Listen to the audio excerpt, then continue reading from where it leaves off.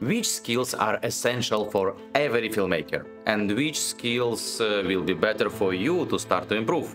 Let's talk about it today.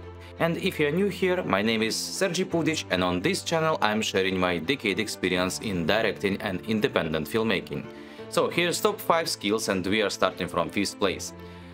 Color theory is essential knowledge for all filmmakers to know which colors to use, how and why complementary color, color wheel, tones, psychology behind it, which color makes object looks closer, which color makes object looks farther away. We are doing visual storytelling and color is a huge part of it, since color film. I can recommend to read Visual Storytelling by Bruce Block as a start. Composition and camera movement is something that differentiate videography from cinematography. Some may say that uh, this needed only for cinematographer, not director, but I will absolutely disagree with it.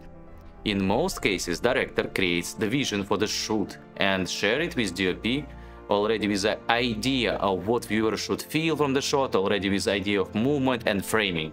This is essential skill for all filmmakers and every should master it to a certain point. Master Shot book is a great place to start from. Storytelling and script writing may sound uh, logical for director, not cinematographer, but I will again disagree.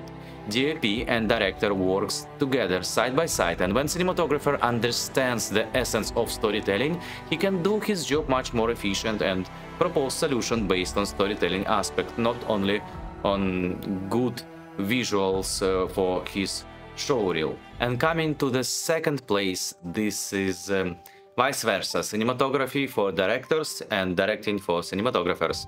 When director know the camera work, lighting, lightning, equipment and tech, it gives him huge advantages including that all crew will not only respect him because of the hierarchy, but because of the skills and understanding their craft. Of course, not till the point that you took camera from DOP and shoot yourself. Give me the camera, Bob. And there are many situations when great DOP with directing skills can cover director and um, mm, in different occasions uh, help him, like continue shooting while director has an important break, or just have a second unit camera to cover b-roll in low budget settings. And uh, they need to be able to speak with actors, not only with the language of position in front of the camera, go there, go where, but direct the actors. And the number one most essential skill that everyone in film industry should master to a certain level is um, editing. Basics of editing gives understanding of continuity and how much it's important, logic behind switching from angles and shots, rhythmical paces and so on and so forth.